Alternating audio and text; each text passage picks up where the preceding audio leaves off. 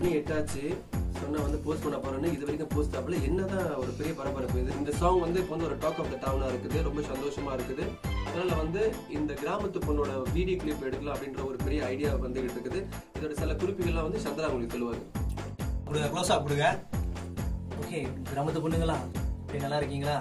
Okay நீங்க என்ன செய்ய போறீங்கன்னா உங்களோட பிக்சர்ஸ் நீங்க வந்து ஸ்னாப் பண்ண போறீங்க.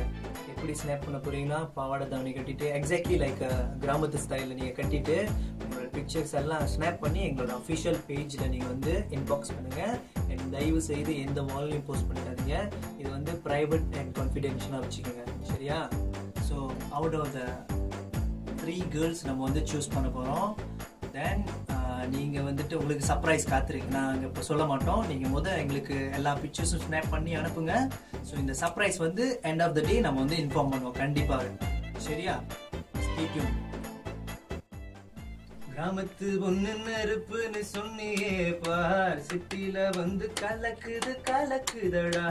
அடிவாடி புள்ள மாமங்காரங்கட்டி அணைக்க. அடிபடல புள்ள தாப்பனிய நினைக்க. அடி சந்தையில போறவள வாடியம் பக்கம்.